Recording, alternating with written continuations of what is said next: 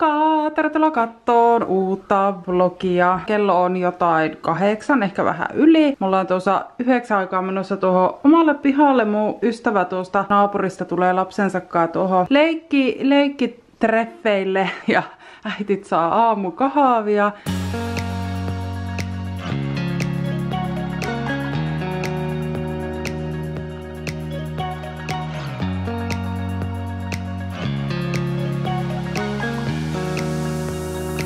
Niin, naamakin pesty ja tuli tuossa mieleen, kun hinkkasin naamaa, mä menen vähän tähän parempaan valoon. Niin mäpä näytän teille nyt, miltä mun iho näyttää. Mä joku aika sitten puhuin, mun mielestä niin maitorahkan syönti sai mun ihon tosi huonoon kuntoon. Mulla ei siis ikinä ollut täysin niin kuin, hyvässä kunnossa oleva iho, että mulla on aina jotain näppyä, mutta tota, se meni tuossa niinku talvella ihan hirveeseen kuntoon, kun mä aloin syömään maitorahkaa. Mä jätin maitorahkan pois, plus mä jätin raajuuston syöninkin pois, mutta muuten mä oon kyllä syönyt juustoa ja sitten joskus kahviin laittanut tavallista maitoa, jos ei ole tota kauramaitoa. Ja sitten mä aloin peseen kasvoja tuolla teepuusaippualla. Niin mä yritän löytää tähän nyt jonkun pätkän siitä ajasta, kun se mun iho oli huonossa kunnossa ennen kuin mä jätin ton maitorahkan pois. Ja siis tältä mun iho näyttää nyt, kuten näkyy, niin on epätasaisuutta ja on kaikkea, mutta siis tästä on hävinnyt kaikki ne, ne tota, niin ne finnit, mitä mulla alkoi tulee tänne poskiin ja mulla on siis edelleen täällä niin leuassa tämmöisiä jälkiä tai vanhoista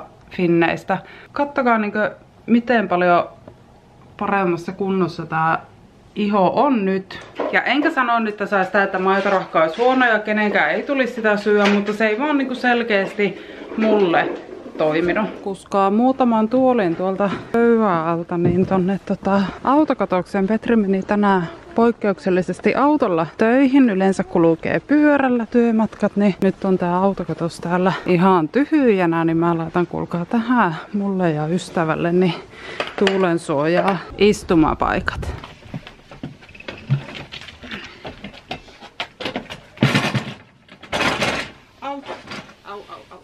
Menipä kivasti aamupäivä. Kello tulee justiin puoli 12 ja tultiin Rassen kanssa sisälle. Aika kylmä tuuli vaan oli, että Rasmuskin muutaman kerran tuumasi, että vähän niinku kylmä. Me syödään lounaat mun eilen tekemiä kanapullia. Nämä on tosi hyviä, nämä maistuu Rasmuksellekin erittäin hyvin. Ja mä pistin tätä karritahnaa tonne taikinaan. Siinä ohjeessa oli, että keltaista karritahnaa. Mä pistin tätä punaista, kun tätä oli jääkaapissa. Toimi ihan hyvin silläkin.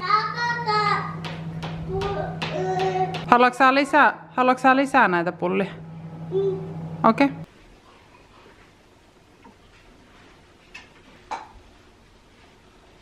Nyt sieltä tulee eri värejä.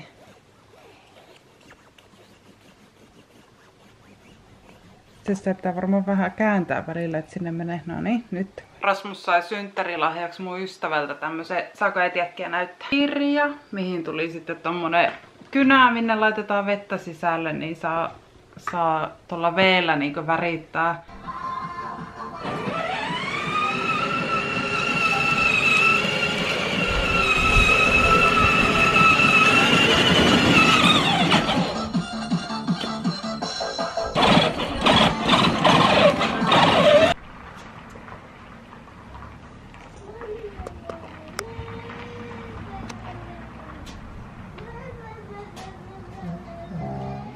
Töistä, niin se jäi Rassen kanssa tänne pihalle ja alan tekee ruokaa. Tonne kalapastaa uunissa.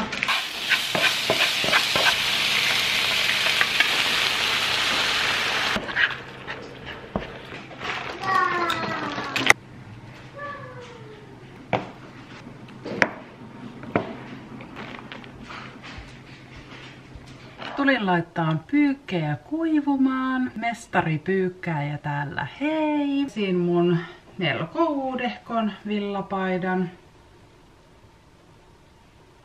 Mä jotenkin oletin, että tämän paijan saa pestä kolmessa kympissä. Näin jälkikäteen sitten katsoa, niin käsipesulla olisi pitänyt pestä. No joo, sitten ollaan jo illassa. Kello on 10 vaille kahdeksan. Rasse tuossa iltapalalla. Mua väsyttää ihan hirveesti. Mä oon niinkö... Minä Minua väsyttää ihan viimeisesti. Sinuakin väsyttää ihan hirveästi. No koitapa syödä se jogurtti nyt pois, niin pääset nukkumaan. Minäkin noin juo sitä. Mä noin juo sitä. Minä noin sitä omaa mehukahvia noin juo. Mehukahvia, me ei keitetty iltakahvia. Tänään kuulkaa jäi kello kuuden kahvit keittämättä. Petri oli Rassen kanssa tuolla pesemässä autoa, siis meidän auto oli ihan hirveen likainen. Minä kiivuin sitä mun autoa.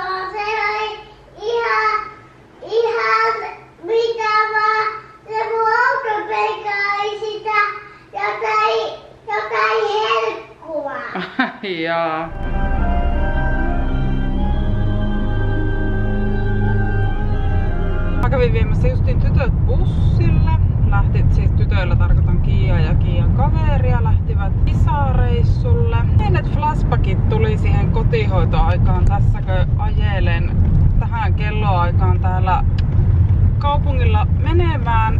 Ihan semmonen olo, niin kuin olisin kotihoidossa töissä ja olisin menossa aamun ekoille asiakkaille. Oli se aikaa. Kyllä täytyy sanoa, että elämä on muuttunut niin järkyttävän paljon kolmessa neljässä vuodessa. että siitä Janitasta, joka siinä oravan pyörässä väsyneenä päivästä toiseen paino menee ja tuntuu, että niinku aika ei riittänyt yhtään mihinkään siihen, että nyt saan itse päättää sen, että milloin teen töitä ja mitä teen ja missä teen ja kova työ kuulkaa palkitaan. Sanoisiko semmosena niin motivaation sanana nyt näin niin lauantai aamuna, että jos siellä on muita, jotka ehtii jotain keinoa saada muutosta omaan sun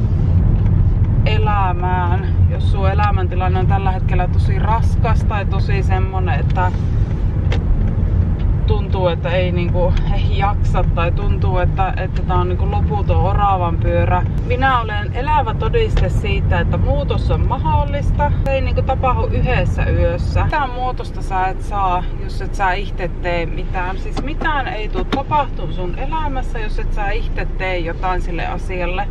Ja edelleen minä olen erittäin hyvä esimerkki tässä. Jos sen olisi alkanut silloin vuonna 2016 raskaan hoitotyön ohella vastapainoksi rakkaudesta lajiin tekeen YouTube-videoita, niin en olisi tässä tänä päivänä. Ja sitten vielä semmonenkin asia, että jos siellä nyt esimerkiksi joku haaveilee YouTubettamisesta työkseen, niin haluan myös sen sanoa, että älä lähde tähän hommaan rahan kiitosilimissä. Älä lähde tähän sillä ajatuksella, että mä lähden tekemään niin kuin, että mä saisin rahaa tästä. Totta kai, jos se on niin sun tavoite, että sä haluat tehdä jotain muuta työkseksi kuin vaikka hoitotyötä, ja vaikka YouTube tuntuu siltä, että se voisi olla sulle oikeasti se juttu, niin totta kai niin se voi olla se niin yksi tavoite siellä. Mutta jos mä olisin aikoinaan lähtenyt YouTubea tekemään vaan sen rahan takia, niin en mä olisi tässä enää tänään. Mäkin tein pari vuotta ihan ilman rahaa, rakkaudesta lajiin.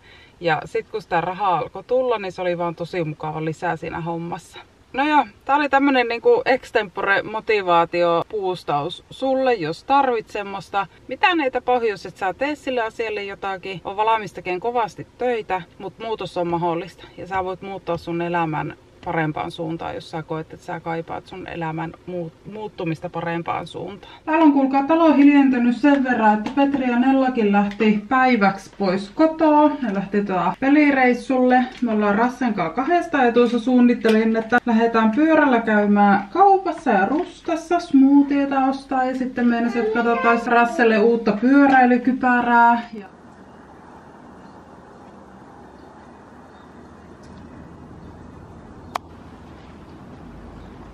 No niin, mä tulin Kiskän kyllä kaupunkiin, en lähtenytkään pyörällä. Täällä heti kulkaa yhdeksältä rustaa ovien takana.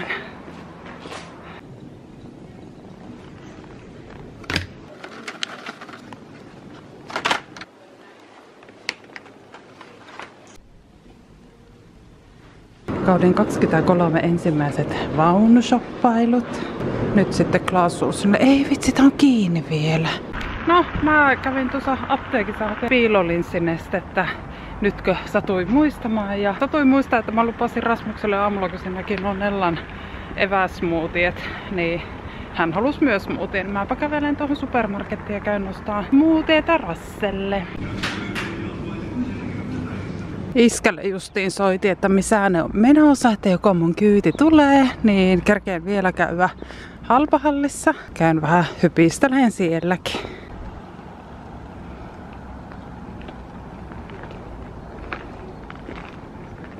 Iskä toi meidät kotia ja nyt mä Rasse ottaa tämä näitä ostokset. Tiri! Uusia hammasharjoja. Saatko sä minä? Kato minkälainen.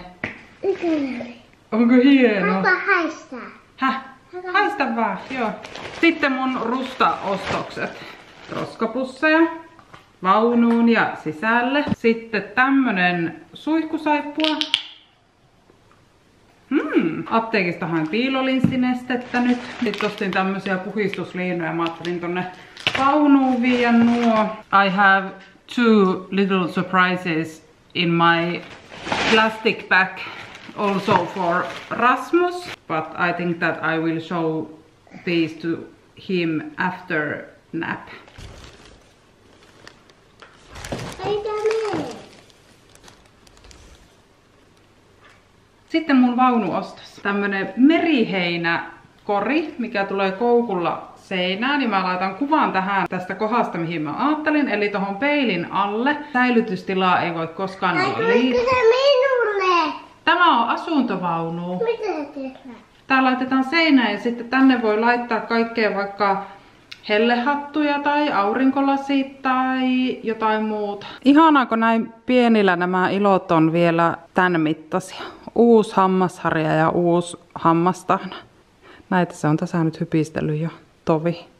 Täällä on huusholli ihan hyrskyn myrskyn. Kohta ei enää tietoakaan siitä mun suursiivouksesta, minkä tein. Rasmus nukkui hyvät päikkärit. Tuossa keitin kahvit ja syötiin välipala ja nyt lähdetään käymään vaunussa. Mä tahon koukku ja sitten tonne saa rompetta.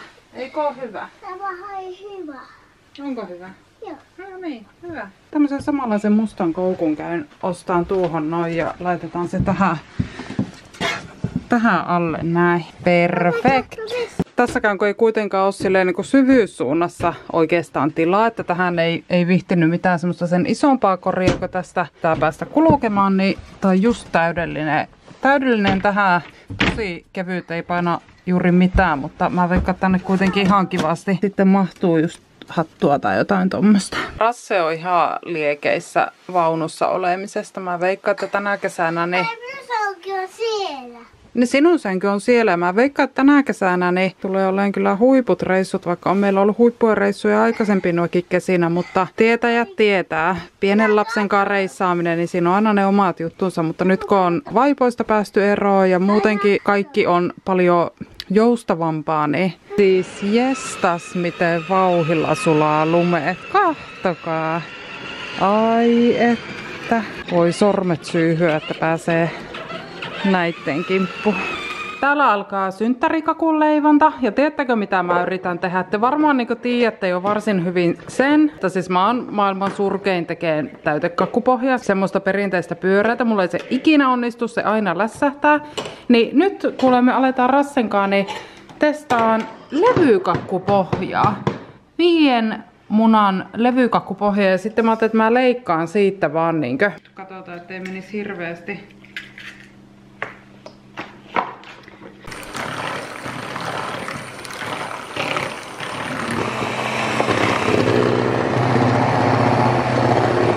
Siis tämähän näyttää nyt niinku tosi hyvältä ja kuohkeelta, mutta tota, jotenkin mua aina tää, niinku tää vaahon sekoittaminen, tuntuu, että tähän ei saisi niinku hengittääkään tähän vaahtoon päin. Niin. Mä en niinku tajua, että miksi mun on niin vaikea osata tehdä niinku täytekakkupohjaa.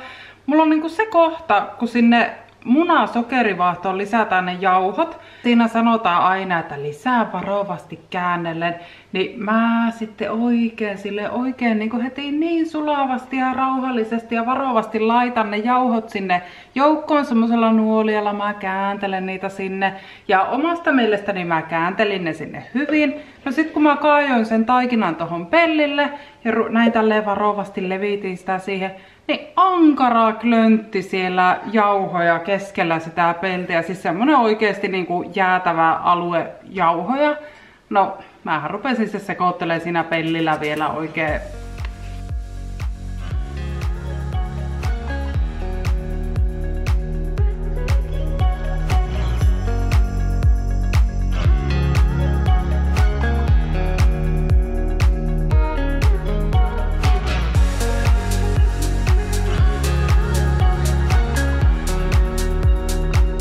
kertoo jo nyt, että miljoona kertaa helpompi taha, ta, taha, tapa tehdä täytekakkua on tehdä tämmönen levypohja. Elä otan niitä saksia. Ja tässä siis niin leikataan kaksi, mä piirsin nyt 22 senttiä on tää muotti. Kaksi tämmöstä täyttä palaa ja sitten leikataan kaksi puolikasta palaa. Tää puolikas pala tulee siihen keskimmäiseen väli, keskiväli. Ja sitten kokonaiset tulee pohjalle ja kanteen superhehkeet heipat täältä editointipöydän äärestä. Siirryin melkein niin suoraan sängystä tänne editoimaan. Tulin vaan lopettaa tämän vlogiin ja sanoin, että kiitos kun katoit. Äh, ensi vlogissa sitten näette, että minkälainen tuosta kakusta nyt sitten loppujen lopuksi tuli. Plus sitten tänään, tänään, tänään, tänään siirretään vaunu tuolta katoksesta pois ja mä pääsen vaunuhommiin ja laittaan ja sisustaan ja ai että. Mutta tota, joo, kiitos kun katsoit, nähdään taas. Moikka!